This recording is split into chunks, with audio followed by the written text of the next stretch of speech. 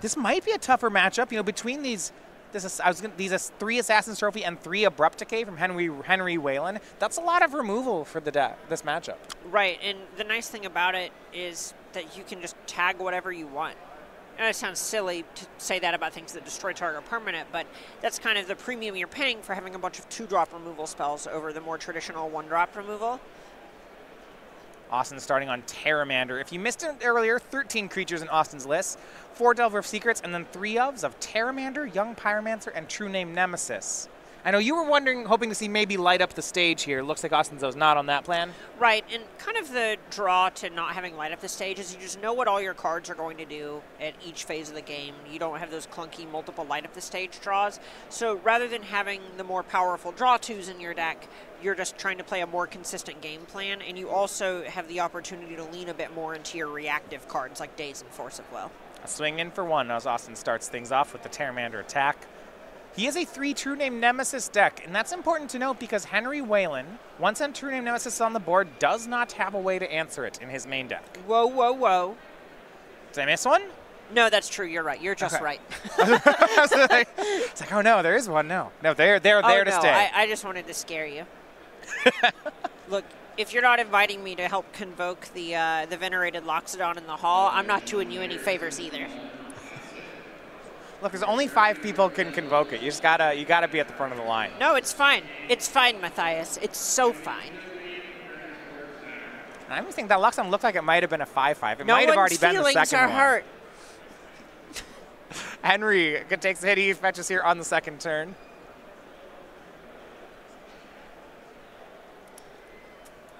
So his ways to answer it will be with True Name on the stack. He does have four copies of Force of Will that are in the deck for game one, as well as three copies of Daze. And those are basically just going to be the answers that he's trying to hold up for specifically True Name Nemesis while whittling down Collins' resources other ways. Yeah, and he saw his first attempt at that was Hymn to Tourach. Now, Austin had a Spell Pierce, so only got one card instead of two. Right, and this is a spot where on one hand you want him to hit multiple cards, but you're also okay with it just one for one. Big check. It was the True Name Nemesis, and if you look at Henry's lands, there wasn't even an island there, so no fear of Daze. Henry doesn't have the Force of Will, and Austin has stuck the 3-1. That's going to change the game. This is a big problem for Whalen. He needs to start developing things like Tarmogoyf or something that can close the game and yeah. race Collins. Because he can't stop the damage. He tries for Liliana the Last Hope, but Austin has a Daze. And this is starting to get a little bit out of control in Collins' favor. Well, right, there's no life gain on Henry's side, and there's no removal for True Name. So the only thing he can do is race back, and Austin by removing Henry's green mana here is going to make that so difficult. Right, and when you have cards like True Name Nemesis, where they aren't literally card advantage engines, but they give you a sort of virtual card advantage where they invalidate all the grinding that Whalen's trying to do, all of a sudden the entire game becomes about the damage output yeah. of both players. So Whalen needs to find some sort of Tarmogoyf-esque racing tool. Problem is, is when it's about damage, Austin Collins is sending burst lightnings up, chain lightnings upstairs it's not exactly. You think you burst lightnings and Chain legacy? Lightning. This is what Chain happens lightning. when you don't invite your burn friends to the convoke party. it's the other lightning one. Uh huh. It's three. It's there. Chain lightning in. Right. Three copies of that and four lightning bolt. Look, sometimes you get to five mana. Maybe you got to four them.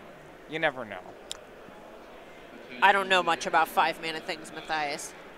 Look, five mana is where the fun starts. I wouldn't know. Three lands up from Henry, but it's the attack continue on Austin's side. He's already got Henry down to 10. This is going to put it to 6. Austin, he likes the way the board is right just fine. He'll pass. Right, he's just so far ahead on this race. And that Pteramander here, not doing that yeah. mid-combat, actually changed the clock. It's two turns, and there's no, with no life gain, no blockers, no removal, it's two turns. Exactly. This is going to be a huge problem for Whalen, where Whalen just needs to find a way to get on the battlefield exactly this turn, or he's going to die to True Name yeah. Nemesis before he gets to do anything. Yeah, I don't see how he how he does it based on the list he has here. Let's he's got to show us something. It involves multiple Tarmogoyfs this turn. Well, he's cast Sylvan Library. Austin. Does it even untap? It just says, yeah, this is attacking again. You're at three. That's that's a blocking fish, not not a, or an attacking fish, not a blocking yeah. fish. And there's the chain lightning again. This is progress, Matthias. Austin bursting his way to a game one win. You know. There we go, switching it back. I hate you. 1-0 for Austin Collins. Make sure it worked there. He sticks the true name Nemesis, and that really is the story. We do look at the sideboards. Okay, so Henry's main deck, cold to true name Nemesis. Let's look at some ways he can answer that going forward. Marsh casualties, very nice. All right, two copies. I'm sign me up. Uh, Austin's also a young Pyromancer deck, so those that's what this it is the matchup everything. it's for. Right. Yeah. And past that, we also have copies of Pernicious Deed, Diabolic Edict. Ooh. Very, very nice answers. Pernicious Deed. That's a that's an old card. That has the old card frame on it. Oh, that card clears everything, even big Pteramanders. Yeah. Scary Terries, as they're called. I think I know from Cube it doesn't. Does it? I forgot whether it clears planeswalkers. It might be one of those annoying ones. It Does does not. it- Is it one of those annoying ones that lists artifact, the things? creature, enchantment, because Yeah. it used to hit artifact lands as well back Yeah. in Extended when Affinity was a deck. I remember when Planeswalkers first came out, you'd look at like those sweepers and you have to say, some of them say non-land and some of them listed out all the things, but the ones that listed them out, like were made at a time before Planeswalkers were a card, so Oh, they yeah. just happened to not hit them. Oh, it's nice. I had a Super Friends Commander deck that played Pernicious Deed and Nevinyrral's Disc for a while, Yeah. but not Oblivion Stone. Yeah, Nevinyrral's Disc is another one where it doesn't kill Planeswalkers. Exactly. There are so many of those that are nice. There's um Oh gosh, what's what's the X spell out of uh, Dissension? It's a split card.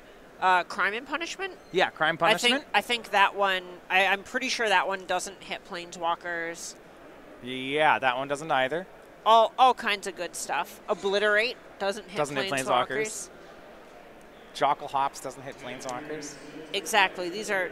Yeah, I am. I Well, because they couldn't, all the red ones don't, because they couldn't say non-land, because red can't blow up enchantments. That's not allowed. Exactly. See, this is the stuff I used to do in Commander. You can you can tell I was a lot of fun at parties. Here's the, my, my favorite commander, you know, is Nevinyrral's Disc. Sacrifice is not in the cost. Oh, oh, that's ooh. Slobad is a great commander for that, where you sack something to make your Nevinyrral's Disc have indestructible and then activate it. Yeah, that's fun. You know, I don't know if you've ever been on the, the player who Mycosynth Lattice, Darksteel Forge, Nevinyrral's Disc. Oh, oh. That's nice. Arcum Dagsson every was my first every competitive every turn every turn you just blow up everybody else's everything. It's nice. That's just so much work to not actually win the game.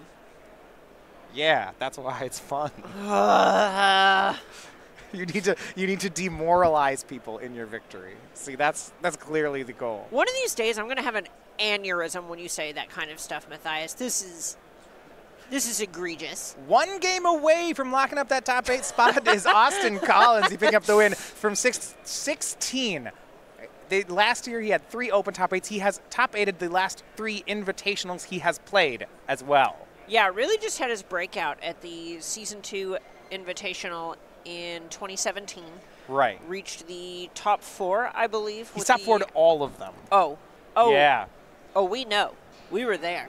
It Yeah. is incredible the how good this person is at Magic to have seemingly come out of nowhere, but we watch him play. It feels like every weekend, and he's just he's very tight. Yeah. Strong play here. On member of Team Nova. With the purples, that's the day two jerseys. They switch it up. Brought to you by Inkling Customs.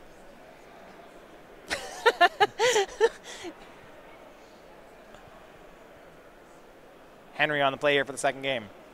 Delver of Secrets from Austin Collins.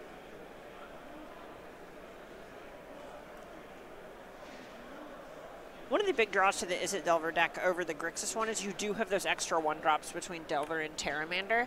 So last game we saw that Pteramander come out and get it was worth what four or five points of damage, Yeah. which is something that something like Young Pyromancer would have been checked much faster by Assassin's Trophy or just any removal spell, for example, and also not been worth the same amount of damage as that Pteramander. So Izzet Delver being more proactive and better at applying early pressure is something that's going to reward Collins in this kind of matchup, where rather than trying to go bigger, you just want to kill your opponent. The first of the big two mana plays from Sultai midrange is Hymn to Tourach.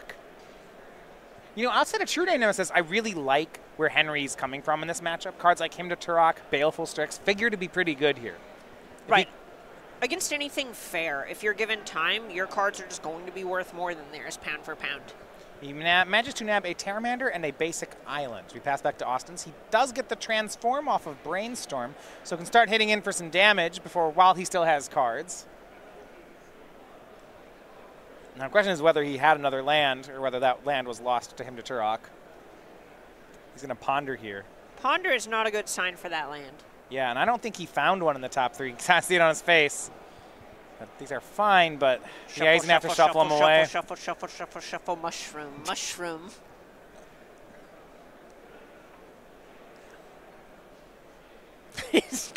you can see the I hate him to tore off on his face. Whew, does hit a land. It's Wasteland. He's going to waste Henry. Decides to go for the green source. He could knock him off of green or blue. He takes rid of care of green mana. When you see Assassin's Trophy in the deck, game Mhm. one, you're much more interested in doing the one that hits both halves of that kind of spell.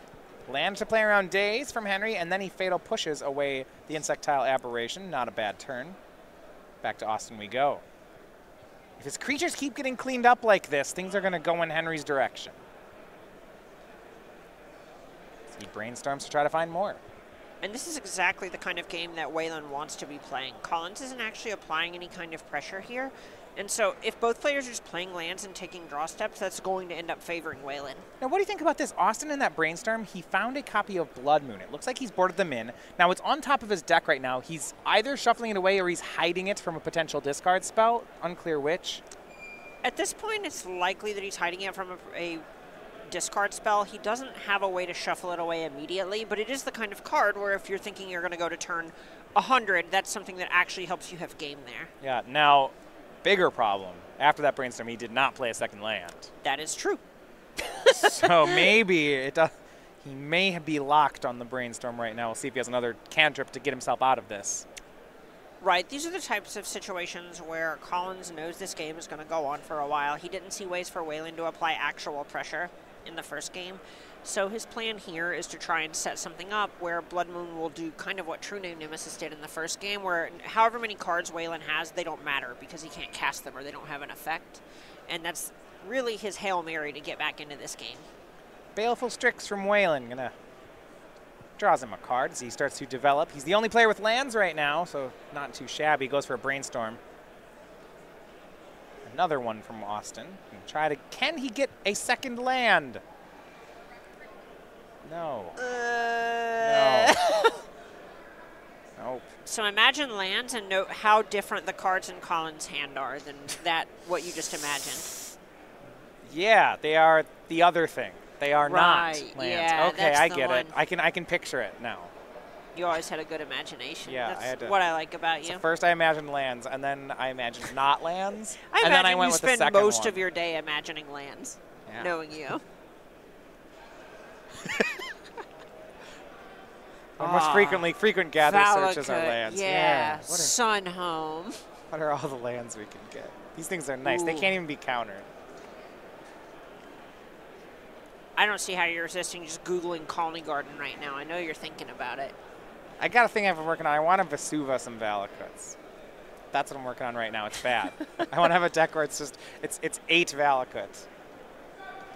You got to play Prismatic Omen, and it gets oh that's all you do. You just Can make we call it- nice. Is, I want to make sure I'm not about to say something gross or raunchy in this pun. Adakut? yeah, yeah, there that was like a minefield.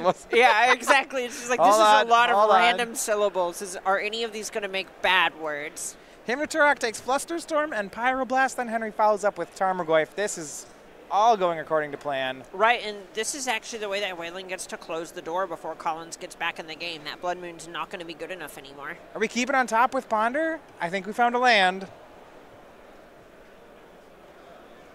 Right on time. I think he's debating. What are the odds it's not a land? what if it's if it's a land but it's not a fetch land? Would you keep it? It's just a you know. I think that would be that would be the borderline decision. That's the one where it's tough, where it's like wasteland. if it's wasteland, I'm shipping it. Wasteland, you're just like, ah.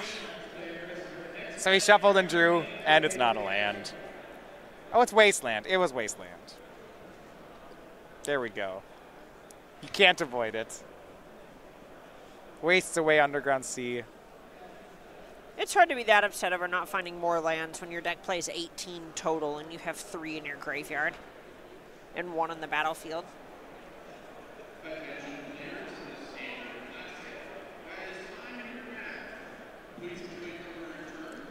The attacks are going to start here on Henry's side. He has five power in play. Swings across. And dropped Austin down to 14. It's got a nice four turn clock going. Just a ponder, hangs back on some basic lands, make sure that Blood Moon can't get him. Another wasteland from Austin. He's technically drawing lands, but I'm sure Henry's fine with these trades at this point. He has things on the battlefield. Pteramander, Baleful Strix's best friend. And it will get dazed.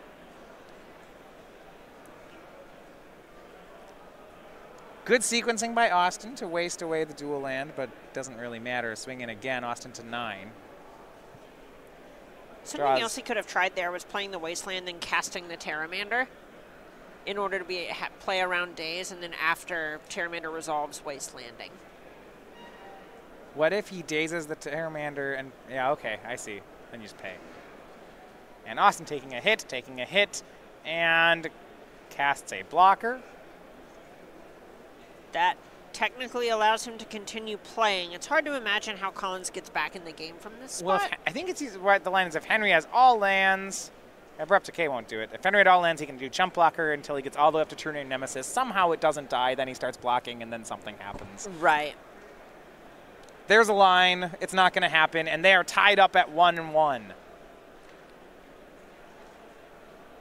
Bit of a bad side of variance for Austin. That, the whole chain event started when he was pondering for a second land, and he had to shuffle off first ponder, drew, and then he found no land. Oh, I think it started way before that. no, the second time it happened. That happened oh, twice. Oh, right. The first time it happened, it's begun it, and then like imagine like four turns later, it happened again. Look, it felt like we were kind of on repeat. Like Austin, you know, I think the movie's older than him, but it's like he we were watching Groundhog Day. That movie's definitely older than Austin. Look, maybe, Yeah. probably. That first ponder's a real doozy.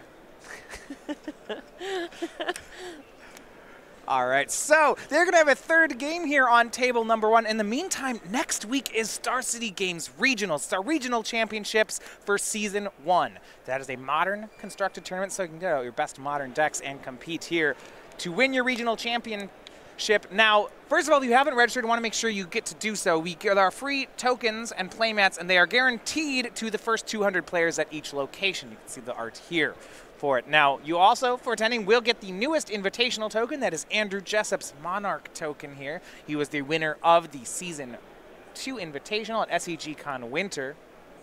Got his likeness on the Monarch. Now, it is not just the regional championships, it is part of the SCG Tour, which means, first of all, there are some prizes to the entire top eight. There's $5,000 worth of prizes given away that weekend. SCG points to everyone in attendance, including a full 20 points to the winner. And for the top eight finishers in the tournament, it is going to be invites to the Invitational at SCG Con in Roanoke this June. And for anyone who is maybe thinking about making a run at the SCG at the Players Championship at the end of the year or wanted buys at our events, we're so early in the year. 20 points is a lot.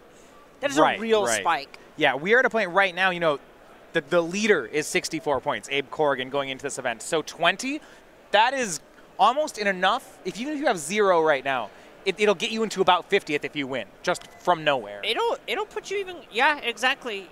47th is 20 points right now, and that's from nothing. and that's if you've never played anything on the tour yet. Exactly. If you've had maybe one, two good finishes, that puts you closer. Even if you haven't, you're in prime position. You win one of those, you day two a couple of events, and you're very likely to just start having free wins at the beginning of our open events. yeah, huge amount of points. And you consider how many points, uh, that it's 25 winning an SCG Tour event and that we have 12 different invita- regionals and 20 points given away at each of them, this is going to be a big part of the season one leaderboard. Exactly. Things are going to shuffle up a lot, and the first ones are worth so much more than the later ones just because of how those buys end up working and translating throughout the entire year. So make sure you manage to come out. Start go.starcitygames.com slash regionals. That is next weekend, the regional championships.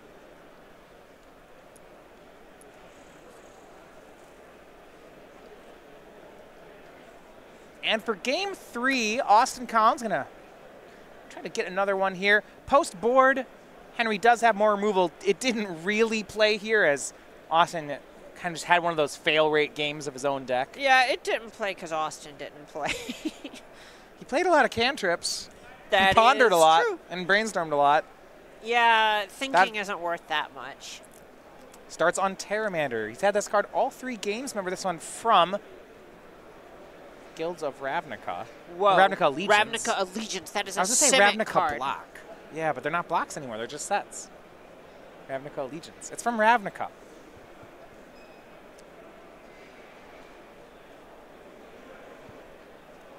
Hits in for one to start things off. And Austin going to brainstorm here on the second turn. Because of cards like Marsh Casualties, he wants to be careful how much he commits to the board. At the same time, he wants to fill up his graveyard for Pteramander with lots of spells. Not creature spells, though. Not creature spells. He's he's surely conscientious of that card existing. When you have something like Young Pyromancer, when you have all these X ones that are going to be able to deal enough damage to win games by themselves, you end up being able to just play games where you only develop one threat at a time and go, all right, how much damage is this worth? With a card like Pteramander in your deck, do you think it makes you cantrip more aggressively? A lot of times you'd see a player here just do nothing, say land go, instead Right. of casting the Brainstorm. Yes, absolutely. Just there's almost a point where every card you do is sort of like a lotus petal when trying to adapt this Pteramander here. So since you're getting to use that mana sooner and apply pressure sooner as well in your aggressive strategy, you're you're just very interested in using these spells. You may not wait to get that max value Brainstorm because you just want to get a Brainstorm out. Exactly. What's the what's the old saying? The best brainstorms are the ones you never cast. That's just not the case in this. Yeah. First move by Henry. I believe a Baleful Strix hanging out in his hand. There's a mighty fine card against uh, creatures. Yeah, against, Any of them. Well, not True Name Nemesis, but What? any of the other ones. yeah. Well, not, true Young there. Pyromancer, but this creature. Like half of them. is- It's good against it is half of them. well, it's. Yeah, it's it's a little over. Yeah, okay, good. We, we can agree on that. But it's good here. Well, he before he does that, he's going to try to clear the way with Hymn to Tourach. That will get the Daze in Austin's hand. So no discard of two. It doesn't mean there's no true name hanging out though. Austin back down on mana. Right, and that's kind of the draw to this type of, we'll say, exchange, where even though to Tourach wasn't worth two cards, it was worth a turn of development, which is honestly something that Whalen is going to be fine with, since all he's Sure. trying to do is get himself to a later phase of the game than Collins in order to convert his cards into card advantage. Back to Austin we go. Now two spells in graveyard thanks to Daze. He's going to slow down the game even more as he wastelands away Henry's Underground Sea. Attacks and casts Delver of Secrets. If Marsh Casualties happens, it happens. Yeah.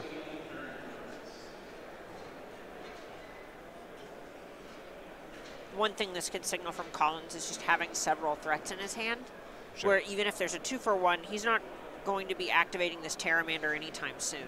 So he needs to just deal more than one point of damage a turn. Yeah, Henry sees that too. He played a land to protect from Daze and Fatal pushed away the Delver, figuring that Pteramander's still a ways off on becoming a 5-5. Right, adapting still costs six mana here. And back over we go to Henry, another basic land. Two mana, here's Baleful Strix. Can't play around the Pyroblast. That's what Austin has to answer it. Puts that third spell into the graveyard. Gotta feel good from Collins' side. That's just the cleanest answer to the card in the entire deck, and sometimes it's a little Yeah. hard to line up Pyroblast against these kind of Golgari-based mid-range decks. No third land from Austin. It is a young Pyromancer. And again, we look at whether or not Marsh Casualties is the card hiding out. It is Leovold, Emissary of Trest from Henry. Dormammu, I've come to bargain. Yeah, this is the replacement for Shardless. We said there was no Shardless Agent in Henry's deck. Instead, his four mana, his three mana cards are two True Name Nemesis, True Leovold, two Leovold, and a Liliana the Last Hope. This one not bad here. No, it's it's funny as it's just having a 3-3 is great against Young Pyromancer. Lightning Bolt targets it, but Henry will get a card before Leovold exits the battlefield. Austin, however, gets an elemental token, cracks in for three, and Henry's down to 12. And, and the more turns we go, the more pressure I'm waiting on that Marsh casualties. Henry needs to find one. Right, and the more turns that Collins has to just be able to draw things like Spell Pierce that can counter it, not necessarily in this context because he has so much mana, but Spell Pierce, Flusterstorm, Daze, Force of Will, etc. These are all things that the longer the game goes, if Whalen's just playing lands, then his life's getting lower and it might not be good enough or it might be too late. But if he just draws spells, he's going to kind of suffer against Collins' conditional removal. Hymn to Tourach hits two copies of True Name Nemesis. Ugh. That is a strong two mana spell. It's strong. It's interesting, right? Because this board already demands a Marsh casualties. So in that sense, True Name is kind of just more of the same, but Austin just continues developing into it. He attacks Henry down to eight. Well, Collins knows that Whalen doesn't have the fatal push there and didn't have a cantrip either. Yeah. So at this point, he's saying, you know, if you rip it, so be it. Henry's gonna make a blocker. It's Tarmogoyf, but he's at eight. We're looking at spells. We have Lightning Bolt, Pyroblast, Daze. I think he's it's just three. He's still a ways away. So the attack is only for one. Henry drops to seven. Can Austin get across this finish line? He's got a Blood Moon in hand too. Full Moon Rising. Yeah, what a what a great card. Woo, Blood Moon. I have an opinion on this card. Lay it on me. I don't like it. Henry down to 6 I'm shocked. Who could have seen this That's my- opinion my coming opinion from is I- Matthias Hunt? My opinion is I don't like it. It makes you feel any better. I'm Yeah. in the same camp. It's definitely the kind of card where I think most of the people even playing it are kind of just going, well, No, that's not true. the- no, you saw that flop from Collins and goes, well, yeah, I mean, go. This is what my card does. I, they love playing it. The people, they love it. No. Henry, a So- draw here. This does tell Collins that Whalen does not have a basic forest in his deck. Yeah, I was going to ask on that. So he got another island. Oh, it It's was in his hand. this is uh, but this is the worst Blood Moon in the history of Blood Moons. well, it, actually, there's only one swamp in Henry's deck, so we can't marsh casualties here. So maybe it's doing its job. now Collins can't cast True Name Nemesis ever. That seems fine for now. He attacks Henry down to five. Makes another Pteramander, doubles the clock. Let's see if Whalen Hard casts this Force of Will in his hand.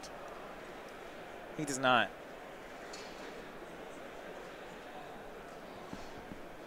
What is he looking for? Yeah, he can't casualties, just the single black. Three spells, four spells in Austin's graveyard. Henry says go. Pyroblast is the top card. It Delver transforms. This is lethal. That is five points in the air. Is that going to do it? Does Austin go to 12 and 1?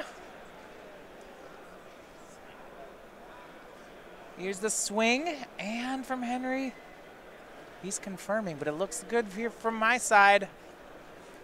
All right, three plus one and one. I have fingers for this Master, one. That is yeah, we- five. we're going, we're deferring to you on that one. I got the ready. Thanks. I know you're. The, I appreciate it. Assassin's Trophy from Henry. He stays alive on it. No, that lets him No, activate I Pteramander. know. It- Austin can use the land. Yeah, that's his fourth land. He says, sure, I'll take a land. Wayne drops his hand on the table and says, "If you got it, you got it." And Collins Yeah. is searching. And he hand with the handshake, so an adapt from the Pteramander. Austin Collins is 12 and 1. How do you feel if you were to learn a Magic uh, format in five days?